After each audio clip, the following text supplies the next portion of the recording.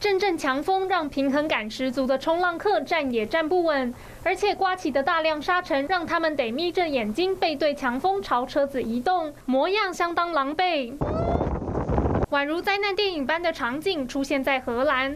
荷兰在五号遭遇继二零一八年后最强烈的夏季风暴，海边出现数公尺高的大浪，能见度变得非常低。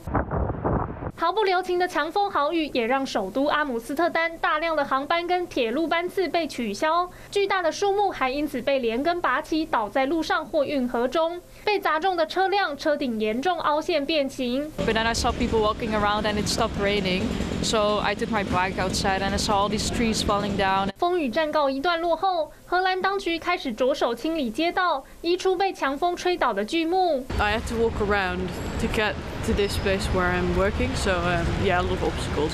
荷兰气象单位指出，风暴即将向东移动，强度预期会渐渐减弱，民众可以暂时松一口气。华视新闻杨卫静、吕汉威报道。